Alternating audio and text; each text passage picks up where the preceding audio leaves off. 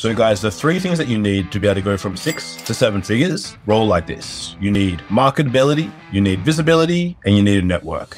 Marketability means you need to have a consistent way to market yourself to bring in new potential customers. The next is visibility. You need to be able to understand dashboards, metrics, KPIs, how they all work for you to help you grow your business. Because if you're spending money on ads and you're doing marketability, you need to know what the return is that you're getting. The last one is network. There's a, a great saying that your network is your net worth. The more people that you hang around that are doing things on a similar level or a similar level that you want to be on, the more you're going to try and push yourself to that same level. That is why I really love what we do inside of our mastermind and why we really focus on having a great network for people because it is what helps you grow past plateaus. It is what helps you go from that six to seven figures. Having people around you that have done it before that you can follow in the footsteps of, having people around you that are striving to do that, that are attempting different things, that are doing things outside of your comfort zone. That's what's going to help you achieve those levels as well.